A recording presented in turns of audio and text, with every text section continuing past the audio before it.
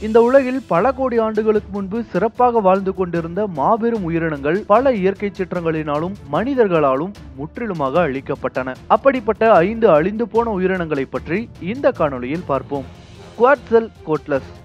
சுமார் ஆறு புள்ளி எட்டு கோடி ஆண்டுகளுக்கு முன்பு உலகில் வசித்த மிகப்பெரிய பறவை இனமான இவை டைனோசர் காலங்களில் வாழ்ந்தவை. இருப்பினும் இது டைனோசர் இனத்தை சேர்ந்ததில்லை. மாறாக டெரோசார் என்னும் ஊர்வன இனத்தை சேர்ந்தது. அது மட்டுமின்றி இவை இருநூற்று ஐம்பது கிலோ எடையுடன் ஐம்பத்தி இரண்டு அடி வரை வளரக்கூடியது. இந்த அளவிலான உயரம் தற்போதுள்ள ஒட்டகச்சிவிங்கியை விட அதிகமாகும். ஆயிரத்தி தொள்ளாயிரத்தி எழுபத்தி ஓராம் ஆண்டு அமெரிக்காவில் சுமார் ஆறு புள்ளி எட்டு கோடி ஆண்டுகள் பழமையான இதனுடைய படிவங்கள் கண்டெடுக்கப்பட்டது குறிப்பிடத்தக்கது. ஆர்த்ரோப்ளயூரா. தற்போதுள்ள பூரான்கள் சுமார் எட்டு அடி நீளம் இருந்தால் எப்படி இருக்கும்? ஏறக்குறைய அப்படி ஒரு தோற்றத்தில் உள்ளது உலகின் மிகப்பெரிய மலைக்காடுகளில் வாழ்ந்த இந்த ராட்சச ஆர்த்ரோப்ளோராக்கள். ஜெர்மனியில் கண்டெடுக்கப்பட்ட இதனுடைய புதைப்படிவங்கள் சுமார் முப்பத்தி ஓரு கோடி ஆண்டுகள் பழமையானதாம். அக்காலத்தில் ஏற்பட்ட அதிக அளவிலான வெப்ப சூழ்நிலையாலும் காட்டுத்தீயினாலும் இந்த உயிரினங்கள் அழிந்து விட்டதாக கருதப்படுகிறது. Giant dare.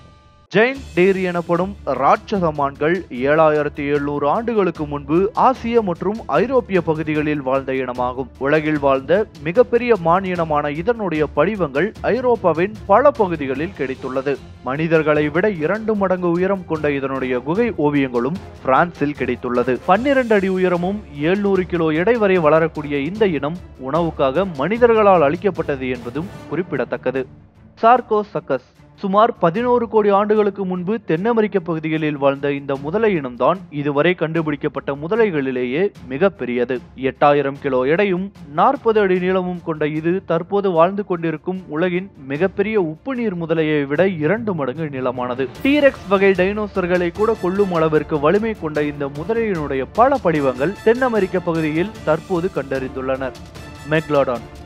மிகப்பெரிய பற்களை கொண்ட மெக்லாடான் வகை சுறாக்கள் இரண்டு புள்ளி மூன்று கோடி ஆண்டுகளுக்கு முன்னர் இந்த பூமியில் வாழ்ந்த இனமாகும். எழுபதாயிரம் கிலோ எடையும் அறுபத்தி ஐந்து அடி வரை நீளம் கொண்ட இந்த சுறாக்கள் சுமார் பதினெட்டு டன் அழுத்தத்தில் இரையை தாக்குமாம். இந்த அளவிலான அழுத்தம் தற்போது வாழும் மிக கொடிய வெள்ளை சுறாக்களை விட ஆறு மடங்கு அதிகமாம். பல லட்ச ஆண்டுகளுக்கு முன்பே அழிந்து போன இந்த இனத்தின் அழிவுக்கான காரணத்தை இன்னும் ஆராய்ந்து கொண்டுள்ளனர் என்பதும் குறிப்பிடத்தக்கது.